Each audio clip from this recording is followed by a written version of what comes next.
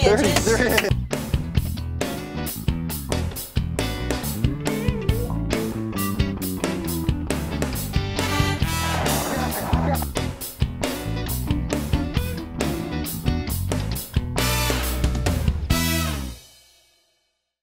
The striped bass is the East Coast's most popular saltwater game fish. Anglers agree these are hard-fighting, great-tasting fish. What fishermen don't agree on, though, is the best way to catch them. Some say live spot is the best bait around, and others say soft plastic lures are the ticket to success. Let's find out who's right.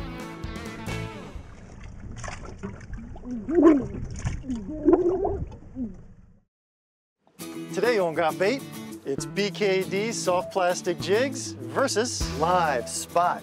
The kids are opting to fish with bait today because they've seen that stripers just can't resist a lively spot. But I prefer to fish with artificials. In this case, BKDs, also known as Bass Kandy Delights. Rockfish love these things. My special guest fisherman and fellow lure angler for the day is Shawn Kimbro, the author of Chesapeake Light Tackle. Glad to fish with you, Lenny. Looking forward to a good day. He's what happens when you take a Tennessee hillbilly bass angler who's a total addict to fishing and bring him to the Chesapeake Bay. Well, somebody's got to teach you Yankees how to fish. Might as well be a Tennessee volunteer, huh? The Got Bait crew is heading for an oyster bed near Thomas Point, just south of Annapolis, Maryland. This isn't where the striped bass are feeding. This is where they'll catch the spot for bait. The hassle factor for spot is huge. Not only do I have to spend time and energy catching the spot, I had to spend 10 bucks to buy bait to catch the bait. Spot are easy to fish for. All you need is a common bottom rig with little hooks and enough weight to keep it on bottom. Bloodworms are the best bait. When you're spot fishing, you want to make sure that your line is taut and on bottom because otherwise you won't be able to feel the spot bite your hook. Fish on bottom.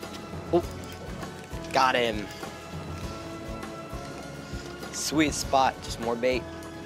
When you're spot fishing, it's very important that you set the hook immediately after the bite. Spot aren't included in our fish count. Once the teams start fishing for stripers, we're going to award each team one point for throwbacks, two points for keepers, and three points for fish over 30 inches. But Max spots a cow nose ray. Spot fishing suddenly takes a back seat.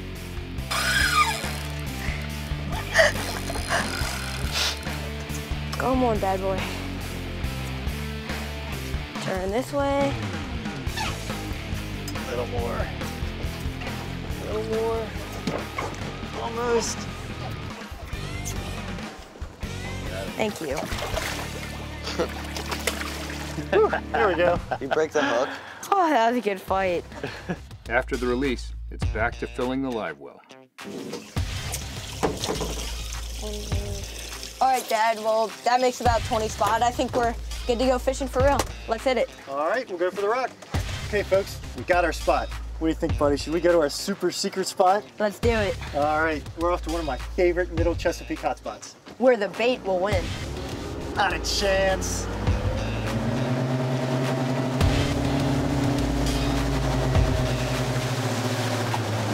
All right, we're here, buddy.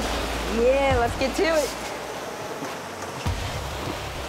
Sorry, folks, but this is a super secret spot, and I am not giving the GPS coordinates away. That goes double for you, Kimbro. I was not going to let those GPS numbers appear on the screen. We're over a mile from shore, but it's only five to seven feet deep here. The tide rushes across this underwater plateau, and there are a handful of scattered rocky outcroppings on the bottom. Since we're fishing in very shallow water today, stealth is critical. We've got to be really quiet on these fish. Even though they don't have ears, fish have a very acute sense of hearing. They also have a very good sense of feel that's closely related to the lateral line. So the lateral line runs all the way down the side of this fish. It's a series of very sensitive nerves, tiny neuromasts, jelly-covered hairs that can tune in on any movement in the water. So the worst thing you can do when you're overfished is to make a lot of noise. And one of the worst noises you can make is this right here. Just how important is the lateral line? Studies show it can override the sense of sight when fish are feeding.